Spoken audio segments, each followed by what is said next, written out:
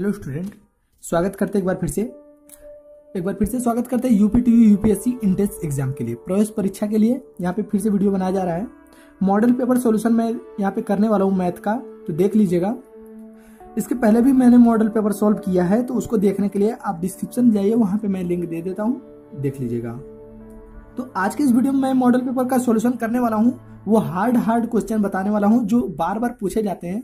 मैं उसी क्वेश्चन को इसमें समावेश करता हूँ, जो पूछे जाते हैं। और पूछने के अधिक चांसेस होते हैं, उसी को बताने वाला हूँ। तो नंबर वन क्वेश्चन ले लेते हैं, कौन सा है? तो पहला जो क्वेश्चन दिया गया है d by d x tan inverse root one plus cos x by two upon one minus cos x by two का मान। इसका मान क्या होगा? यहाँ पे चार ऑप्शन दिए गए हैं। अब इसमें से कोई एक सही हो सकता है। चलिए मैं सॉल्यूशन करके दिखाता हूँ कि इसमें से कौन सही है। तो ध्यान से समझिएगा, ये कॉस एक्स बाई टू है तो यहाँ पे हम कॉस टू ए का फॉर्मूला लगाएँगे और इस वन को गैप करना है। तो गैप करने के लिए कॉस टू ए का फॉर्मूला लगाएँगे इसको फोर कर सकते हैं। चलिए करते हैं। तो d by d x tan inverse root में क्या लिखते हैं? इसको वन सीधे गैप कर लेते हैं। हम सीधे और डायरेक्ट मेथड से करते हैं, क्योंकि अधिक समय लंबे बनाने से आप वीडियो भी लंबा हो जाएगा। Cos square x by four upon two sine square x by four. ध्यान दीजिएगा, ऊपर काश टू का साइन कॉस वाला फॉर्मूला लगाएँगे, नीचे साइन वाला लगाते हैं, क्योंकि हमें इसको काटना है तो काटने के लिए हमने तो लगा लिया। अब देखिए आगे टू से टू कैंसिल हो जाएगा। क्या बचेगा? D by d x tan inverse root में क्या बचा? कॉस स्क्वायर बटे साइन स्क्वायर कह सकते हैं cot square x by four या इसको बाहर कर लेते हैं तो क्या आ जाएगा? D by d x tan inverse cot x by four ये आ गया। अब इसको चेंज करने के लिए हमें क्या करना पड़ेगा? इसको टेन बनाना पड़ेगा। तो लिखेंगे d by d x tan inverse tan ninety minus x by four कर सकते हैं। नाइन्टी मतलब pi by two pi by two ninety minus x by four तो ये चेंज होकर वही चीज़ें मिल जाएँगी। अब देखिए टेन से टेन तो कैंसिल हो जाएगा, लेकिन हमें क्या मिलेगा? D by t x x by two और माइनस ये pi by two minus x by four ये चीज़ें मिल गई। अब देखिए आगे, अब अवकलन यहाँ पे करेंगे तो ये पाई है मतलब कॉन्स्टेंस हमारा ज़ीरो हो जाएगा, और यह क्या बचेगा? D by d x minus x by four मतलब देखा जाए तो एक्स तो वन हो जाएगा एक्स तो वन हो जाएगा माइनस वन बाई फोर यही हमें मिलेगा आंसर अब देखते हैं ये ऑप्शन में कहाँ पे है? माइनस वन बाई फोर देखिए, पहला ऑप्शन आप टिक कर सकते हैं. क्वेश्चन नंबर टू समझिए. देखिए क्वेश्चन नंबर टू तो यहाँ पे क्वेश्चन है integration thirty two x power तीन लॉग एक्स का होल स्क्वायर डी एक्स का मान क्या होगा? तो यहाँ पे चार ऑप्शन दिए गए हैं. अब इसमें कौन सा सही होगा? चलिए मैं आपको सॉल्व करके दिखा देता हूँ. तो ध्यान से समझिएगा ये इस तरह से अगर आता है तो अगर इसको बाहर करेंगे तो ये खंडशः समाकलन आपको मिल जाएगा। प्रथम फलन मान लेंगे, इसको सेकंड फलन मान के हल करना पड़ेगा। चलिए हल करते हैं। थर्टी टू को बाहर करेंगे और इसके बाद क्या मिलेगा? एक्स के पावर तीन को पहले हम बाद में लिखते हैं लिखते हैं लॉग एक्स का होल स्क्वायर एक्स के पावर तीन डी एक्स अब ये हमारा मिल जाएगा प्रथम फलन और ये मिल जाएगा सेकंड फलन। खंडशः समाकलन का फॉर्मूला लगा देते हैं। तो यहाँ पे जो मैंने सोल्यूशन किया है, प्रथम फलन इंटू द्वितीय का समाकलन, द्वितीय का समाकलन एक्स पावर तीन पावर बटे फोर माइनस इंटीग्रेशन प्रथम का अवकलन तो two log x into log x का वन बाई एक्स इंटू द्वितीय का समाकलन एक्स पावर फोर बटे फोर डी एक्स ये तो मैंने कर लिया। अब देखिए इसके बाद क्या होगा? इसका इसमें मल्टीप्लाई करेंगे तो ये काट देंगे हम सीधे यहाँ से। तो मिल जाएगा हमें एट लिख सकते हैं सीधे। एट एक्स के पावर फोर एट एक्स के पावर फोर और लॉग एक्स का होल स्क्वायर ये चीज़ें मिल गई। फिर माइनस अब यहाँ पे क्या मिलेगा? ये बत्तीस यहाँ पे भी आएगा और ये दो से दो काट देंगे। तो ये दो बत्तीस से कटेगा तो आ जाएगा सोलह।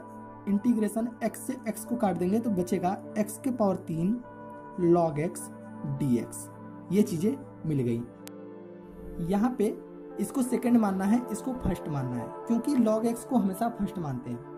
तो प्रथम फलन, द्वितीय का अवकलन माइनस इंटीग्रेशन प्रथम का अवकलन करेंगे और द्वितीय का समाकलन करेंगे डीएक्स और ये वही चीज़ें उतार देंगे। अब इसके बाद फिर क्या करना है? वही कंडीशन फिर करेंगे। एट एक्स के पावर फोर लॉग एक्स का होल स्क्वायर माइनस सोलह इसमें जाएगा तो ये चार से इसको काट देंगे तो बचेगा फोर लॉग एक्स और एक्स के पावर फोर माइनस अब ये इसमें भी मल्टीप्लीकेशन होगा तो चार से ये कट जाएगा तो मिल जाएगा फोर फोर एक्स से एक्स कट जाएगा तो मिल जाएगा integration x power three d x ये चीज़ें मिल गई। अब देखिए क्या करना है। इसको हमें सॉल्यूशन करना है, इसको उतार देना है। तो चलिए कर लेते हैं। तो मैंने यहाँ तक उतार दिया। अब इसका इंटीग्रेशन करेंगे तो फोर इंटू एक्स की पावर फोर अपान फोर और प्लस सी। सभी का इंटीग्रेशन हो जाता है तो सी लगा देते हैं। अब ये फोर से फोर कट जाएगा। अब देखिए एक्स के पावर फोर, एक्स के पावर फोर, एक्स के पावर फोर। तो ये सभी हम कॉमन कर लेते हैं। चलिए कर लेते हैं फोर, एक्स के पावर एक्स की पावर फोर अगर हम कॉमन करते हैं तो क्या मिलेगा? मिलेगा एट लॉग एक्स का होल स्क्वायर माइनस यहाँ पे मिलेगा फोर लॉग एक्स उसके बाद मिलेगा अब प्लस यहाँ पे मिल जाएगा वन अब प्लस सी अब देखते हैं ये चीज़ें ऑप्शन में कौन सा है। तो यहाँ पे हम चेक करते हैं ऑप्शन में तो हमें देखने को मिल रहा है ये सेकेंड नंबर तो आप सेकेंड नंबर को टिक कर सकते हैं। चलिए नेक्स्ट क्वेश्चन समझिए। क्वेश्चन नंबर तीन। इंटीग्रेशन अपर लिमिट 16 दिया है लोअर लिमिट 1 दिया है। D x upon x one plus x power four का मान होगा। तो अब ध्यान से देखिएगा, यहाँ पे हमें कुछ देखने को नहीं मिल रहा है। अगर हम इसको पावर फोर कर देते हैं, यहाँ पे पावर तीन कर देते हैं तो ये कट के वही चीज़ मिल जाएगा। लेकिन प्रतिस्थापन विधि से हम इन दोनों के माध्यम से इसको हल कर सकते हैं। हमेशा क्यों फोर कर रहे हैं? क्योंकि ये पावर फोर है तो फोर दोनों रहेगा तो मान सकते हैं। चलिए हल करते हैं इसको। तो देखिए कैसे करेंगे। लिखेंगे वन सिक्सटीन एक्स के पावर तीन डी एक्स अपान एक्स के power four one plus x के पावर फोर ठीक है? अगर ये इससे काटेंगे तो वही क्वेश्चन हमें मिल जाएगा जो मैंने क्वेश्चन आपको दिखाया था। अब हम यहाँ पे मान लेते हैं। x के power four is equal to t तो क्या मिल जाएगा? Four x power three d x बराबर डी टी या x के पावर थ्री डी एक्स बराबर डी टी बाई फोर तो ये चीज़ें हम यूज़ वहाँ पे कर लेते हैं। देखिए वन सिक्सटीन एक्स के पावर थ्री डी एक्स बराबर हमें मिला है d t by four total के पान ये हमने माना है टी और वन प्लस इसको हमने टी मान लिया है तो लिखेंगे टी ठीक है? अब आगे समझ लीजिए वन बाई फोर इसको बाहर कर लेंगे वन सिक्सटीन अब इसमें हमें मिल जाएगा डी टी बट्टे के टी और वन प्लस टी इतना तो सिंपल है। अब इसके आगे क्या करना है, देख लीजिए। इसको चेंज करना है। One by four, one sixteen. इसको लिखेंगे one by t minus one upon one plus t. ठीक है? ये चीज़ समझ में आई, नहीं आई? क्योंकि अलग अलग करेंगे, अगर इसका गुड़ा इधर, इसका गुड़ा करेंगे तो वही चीज़ें हमें मिल जाएगी। अब इसका इंटीग्रेशन हमें कर लेना है। तो इंटीग्रेशन अगर करेंगे तो क्या आ जाएगा? वन बाई फोर तो हमारा बाहर का बाहर रहेगा। ये हो जाएगा log upon one plus t. ये हो जाएगा इसका इंटीग्रेशन। इन सभी का अपर लिमिट, लोअर लिमिट लगा दिया गया है। ठीक है? अब हम वैल्यू निकाल लेते हैं। One by four. तो लिखेंगे लॉग पहले हम लिखेंगे सिक्सटीन। ऊपर है तो सिक्सटीन बटे के वन प्लस सिक्सटीन मतलब हो जाएगा सेवनटीन। ठीक है? फिर लोअर लिमिट लगाने के लिए माइनस करेंगे और इसमें भी लगाएँगे लॉग ये टी मतलब वन और नीचे वन प्लस वन टू। तो कह सकते हैं वन पाई टू ठीक है? अब इसके बाद देखिए वन अपान फोर और log log m minus log n formula समझ में आ रहा है आपको? तो ये डायरेक्ट लिख लेते हैं, हम यहाँ पे हल कर लीजिएगा सेवनटीन आ जाएगा। ये ऑप्शन में अगर दिया है तो आप इसे टिक कर सकते हैं। नेक्स्ट क्वेश्चन देखिए। क्वेश्चन नंबर फोर अवकल समीकरण d y by d x बराबर e power x minus y plus x square e power minus y का हल होगा और यहाँ पे चार ऑप्शन दिया गया है। तो ये अवकल समीकरण है, आप समझ सकते हैं अवकल समीकरण यहाँ पे दिया गया है d y by d x का मान दिया गया है।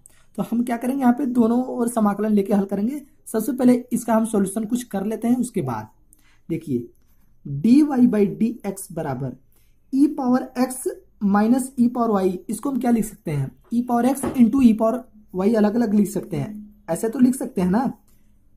ठीक है? ये भाग में लिख सकते हैं। भाग में क्या होता है? घटाना होता है। ये ठीक है? तो इस तरह से हम इसको लिख सकते हैं। तो इसको हम कैसे करेंगे? ये समझ लीजिए। लिखेंगे e power x upon e power y ठीक है? अब समझिए।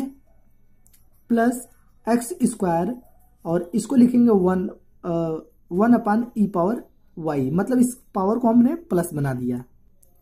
इसके बाद one upon e power y common कर लेते हैं और उसको उधर भेज देते हैं। तो ई पावर वाई हो जाएगा। D y by d x बराबर, इधर बच जाएगा e power x plus x square इतना करने के बाद हमें क्या करना है अब? इंटीग्रेशन लगा लेना है। चलिए इंटीग्रेशन लगाते हैं तो integration e power y d y is equal to integration e power x d x up plus integration x square d x अब इसका सॉल्यूशन सिंपल आपको आता है। चलिए हम करके दिखा देते हैं।